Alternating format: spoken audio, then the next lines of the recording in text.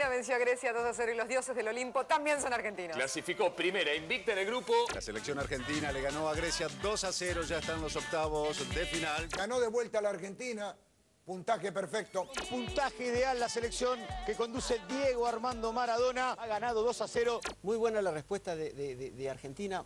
Muy acertado lo que hacía Maradona, que se discutía si estaba bien los siete cambios, no los siete Sí, cambios. sí, a mí me gustó, Sa- a mí me gustó salió todo entrada, bien, sí, salió sí. todo redondo. Eh, fue duro el partido, los griegos marcaron y mucho, golpearon también, es cierto, pero la Argentina se las arregló. que abrió el partido fue el Diego con los cambios que hizo. Porque cuando entró Pastore y cuando entró De María, el partido se abrió, empezaron a aparecer los espacios y ahí pudimos hacer los dos goles. Eh, cada vez que se daba vuelta y le decía algo Mancuso o a Negro Enrique, o escuchaba una devolución de estos dos, eran, eran situaciones que se acomodaban a lo que uno estaba viendo en el partido. Las figuras fueron eh, Burdizo, Otamendi y Verón. En ese Sí, orden. a mí me gustaron Otamendi, Clemente, Verón. Clemente también hizo un buen partido. Y está claro que Pastore El ratito de Pastore fue revolucionó el partido. sí, sí. Y fue muy buena, pero muy buena la sociedad Messi, Pastore y Di María.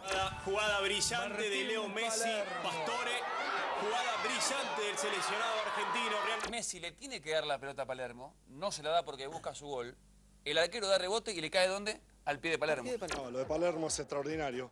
Cuando entró todo el mundo pensaba que iba a ser el final de la película que siempre se comenta de Palermo y bueno, así fue. Entró, hizo el gol y todo el mundo lo quiere, todo el mundo lo adora.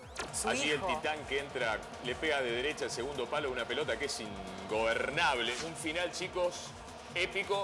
Cuando eh, Argentina estaba festejando co- como un racimo de futbolistas el gol de De Michelis, Maradona no se queda en el festejo, se da vuelta y le dice a Mancuso Enrique, ahora Palermo.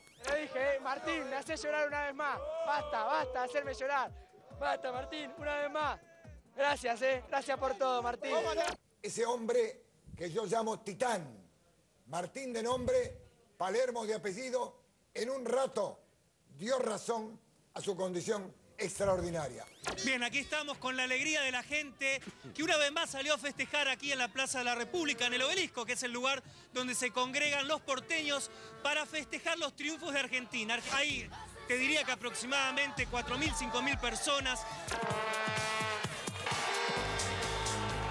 1624 butacas tiene este anfiteatro del Parque Centenario, totalmente lleno.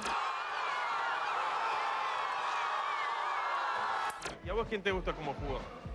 Messi Palermo. Fue el mejor jugador de Argentina para vos? ¡Messi! ¡Messi!